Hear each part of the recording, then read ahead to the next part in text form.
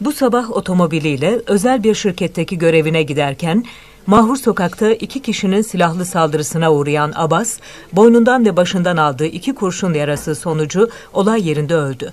İki saldırgan yayı olarak kaçtı. Olay yerinde 7.65 çapında dört boş kovan bulundu.